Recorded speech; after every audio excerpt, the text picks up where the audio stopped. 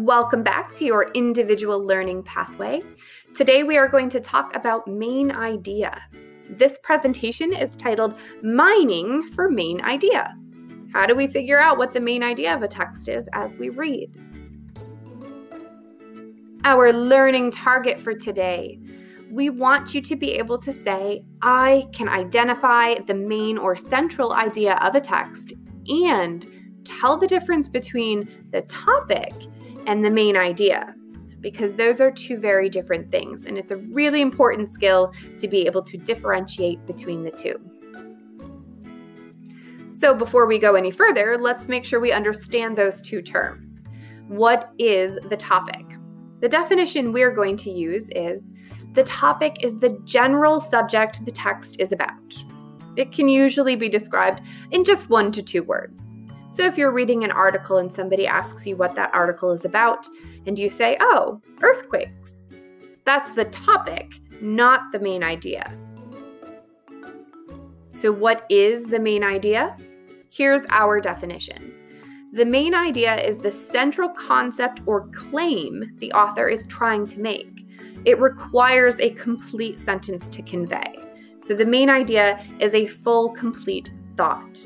So instead of saying, oh, this article is about earthquakes, I might say, oh, the author is trying to get me to understand that earthquakes can be really dangerous for communities that live along fault lines. It's a much more specific answer. There are three questions that can help you on your quest to figure out what the main idea is. This first question I feel like is going to be pretty familiar for most of you what is the text mostly about? Um, that's a question we're, we're pretty used to asking. That will get us started on the right path. It's this second question that's probably the most important question to ask. So, what does the author want me to know or understand? That gets us to the heart of the text.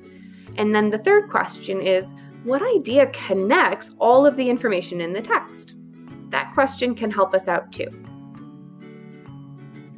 So let's talk about these questions individually. The first one what is the text mostly about? This question actually really helps us identify the topic, not the main idea.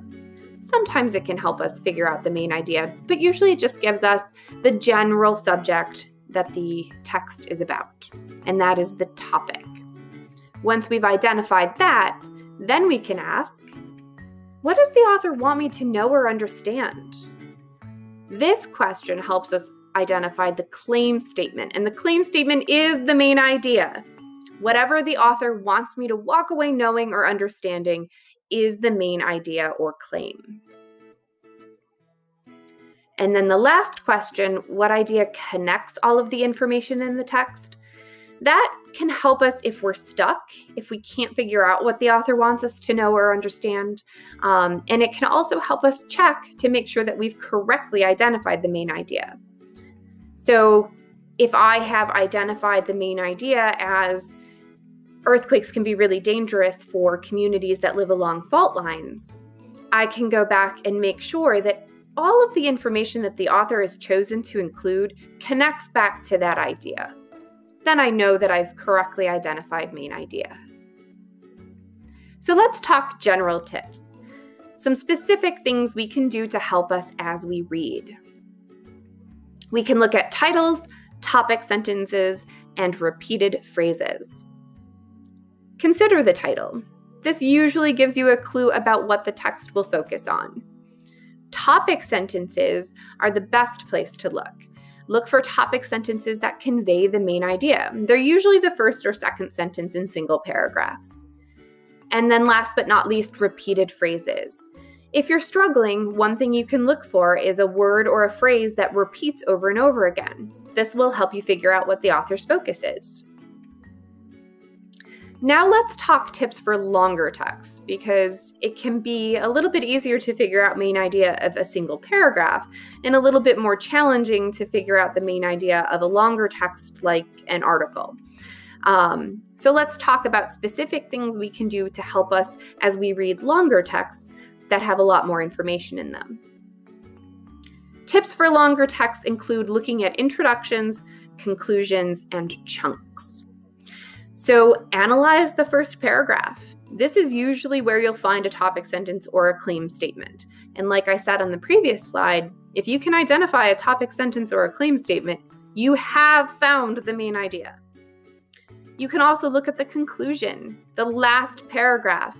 Um, the main statement or the, the claim is usually emphasized or repeated there. The other tip we have is to chunk the text, split it into smaller sections. Once you have an article split into, say, three chunks or three paragraphs, you can look at each chunk individually, figure out the main idea of each chunk or paragraph, and then those will add up to the overall main idea. So let's review. How do we go from topic to main idea? So, first, we obviously have to identify the topic. Ask yourself what the text is mostly about and identify the general subject. Then note what the author thinks about it. Ask yourself what they want you to know and note how they feel. Then take that information and write a, a, sentence or make a statement.